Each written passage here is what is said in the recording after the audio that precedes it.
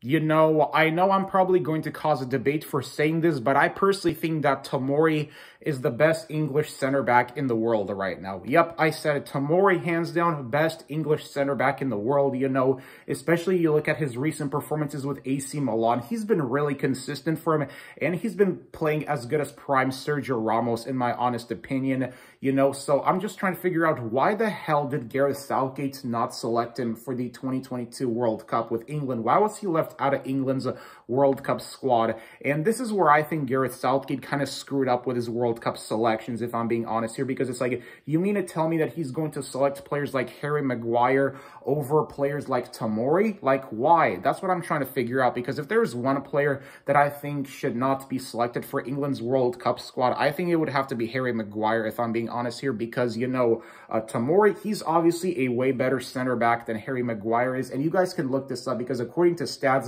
uh, John, well, John Stones, Tomori, he made the most successful challenges and I guess what, uh, tackles out of any other English center back. And you mean to tell me that Gareth Southgate wasn't going to, that, that you mean to tell me that Gareth Southgate didn't select him for England's squad at the 2022 World Cup? Like, I just think that Gareth Southgate completely made the biggest mistake, especially by selecting players like, you know, uh, John Stones and Maguire ahead of, you know, um, now, John Stones, I think he's personally decent to be a defender. I think John Stones is a decent defender, but the fact that Gareth Southgate selected them over Tomori just doesn't make any sense to me. And that's what I really am trying to figure out right now with Gareth Southgate's World Cup selection because, you know, uh, England, they could have used Tomori. Like, say that England struggled defensively at the World Cup.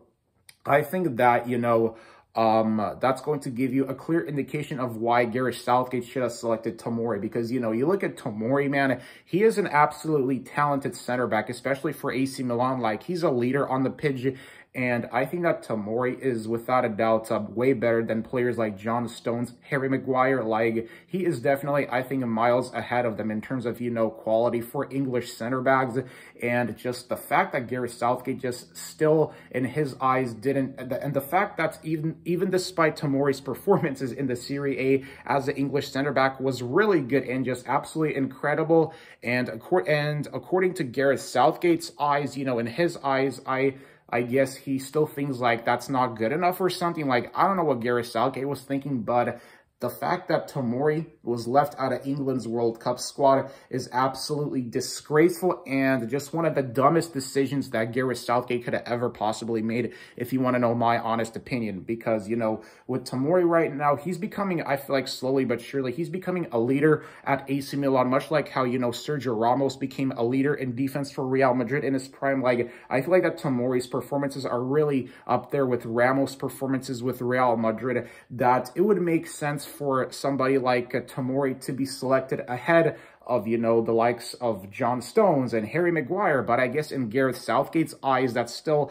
not good enough. Like, I don't know what Gareth Southgate's thinking, man, but I just think that this is where Gareth Southgate's World Cup selections will come back and bite him back. Because, you know, uh, with Tomori, man, like, he has all the traits and the quality to be a leader in, you know, in England's defense. Like, come on, dude. You mean to tell me that Tomori doesn't have the quality and the traits to be a leader in England's defense? Like, come on, bro. That's bullshit. Like, he should have been selected selected Gareth Southgate, you know, I think took a real fat L of not selecting him for the World Cup. That it makes you realize that by him selecting Maguire and John Stones ahead of ahead of uh, Tomori just goes to show you here how really uh, stupid Gareth Southgate's decision making can sometimes really be. I mean, seriously, like you mean to tell me that Harry Maguire, a defender who has been very inconsistent for United this season, was selected ahead of Tomori? Like, that's freaking stupid. I'm sorry, but what the heck?